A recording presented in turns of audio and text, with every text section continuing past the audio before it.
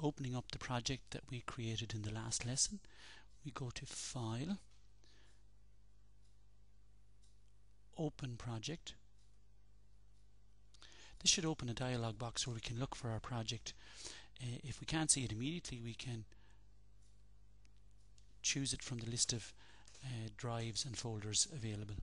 In this case, my project is visible here. The project was called Introduction, so I'll double click on that to open it. Now I'll see two more little icons. If I double click on the second of these, which has VB written on it, it'll open the project. If the form doesn't appear immediately for you when you open the project, go to the Solution Explorer window on the right hand side and double click on form1.vb. At that stage the form should appear. Now we'll set some common properties for the controls that we created earlier. So the first thing we need to do is decide on which control we want to change the properties for and select it. So I'll begin with our button. And when I select the button, if we look at the properties window, we can see that BTN push is the name that appears there. So the properties that appear in this window are the properties of BTN push. And the first property that I'll set will be the color of the button. And the pr property that controls that is back color. So if we click in back color and then click on the down arrow here, we'll see a number of options. And if we click on the custom tab out of those options, we'll get a palette of colors. And if we want to make the button background of the button yellow, we just simply click yellow and our button changes to yellow. We can also change the color of the text on the button by going to the fore color property a little further down. Again, click on the property, then click on the right arrow to see the colors. And again, if I click on the custom tab, and this time I'll choose a dark blue. And now the color of the button of the writing on the button changes to blue. So you've seen that these two properties, the back color and the fore color, can be set for our button. We can also set the same two properties for each of the other objects on our form. So for example, if I take the label and select it, I can change its back color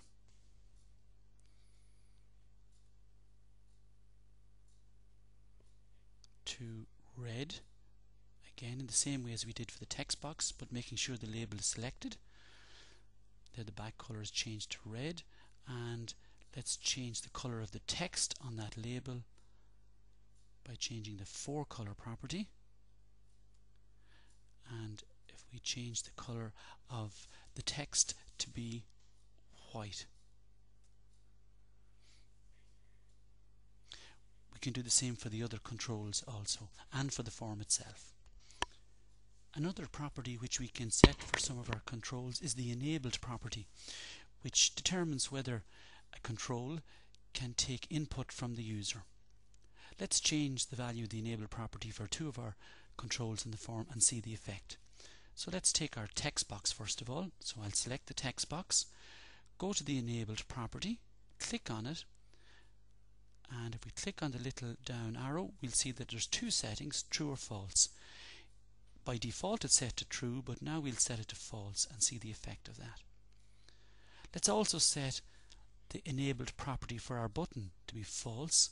So again, I need to choose the button, then go to the enabled property, click on it, and choose false. Now, both of these controls have been disabled by setting the enabled property to false. If we run our program, let's have a look and see the effect of that. So we click on run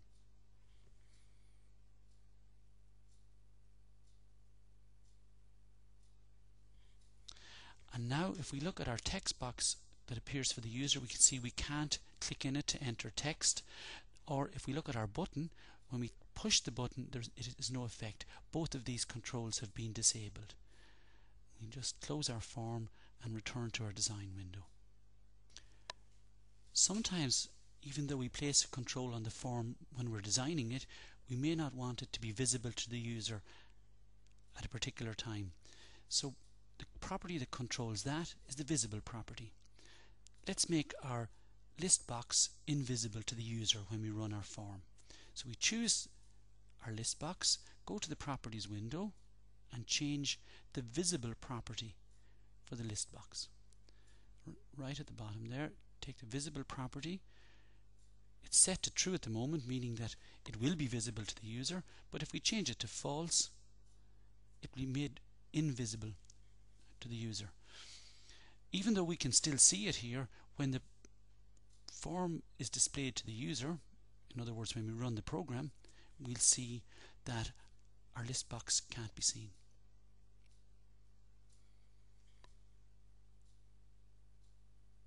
And there we go. The list box is invisible at the moment. Later on, we may write instructions that would make it visible again. Again, we'd close our form and return to the design window.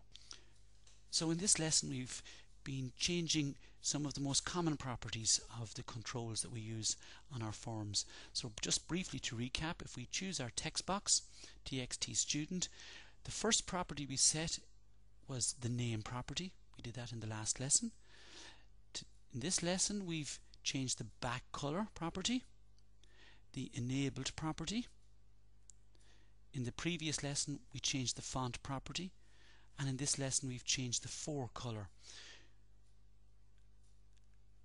Another property which we changed was the visible property. And finally, a property which we have used on some of our controls is the text property.